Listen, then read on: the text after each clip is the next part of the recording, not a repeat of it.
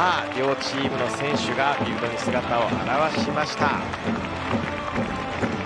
右側かなりのホームの岩木 FC そして左側えカターレ富山です。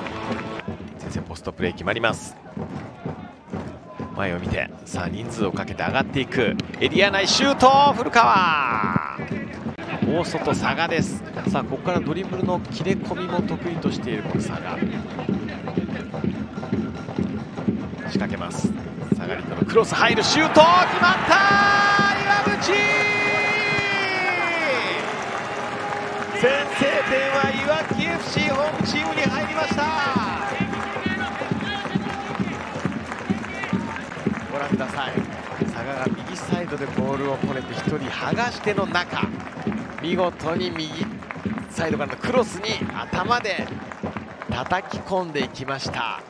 19番岩渕です。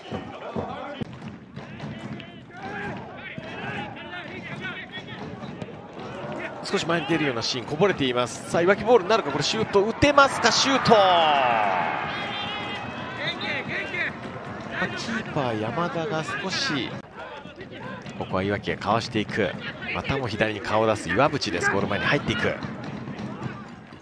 中央佐賀です。かわしてシュート！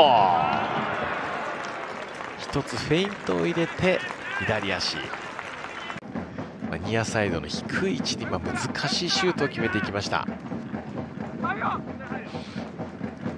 クロスが入る。ヘディングで落として枠に行っていましたが松本のヘディング。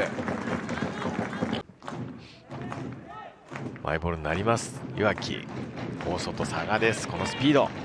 そして一つかわしていくエリア内2人ヘディング古川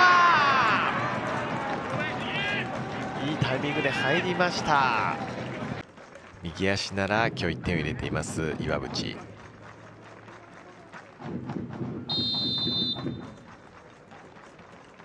日高です。狙ったシュート。これは大きくはきましたがネットの外側です。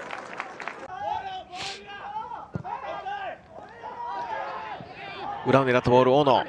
こぼれればチャンス。打てるかシュート。決まった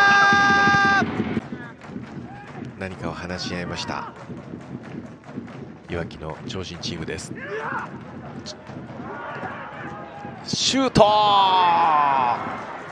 大胆に放っていきました。枠を越えています。伊藤のコーナーキック。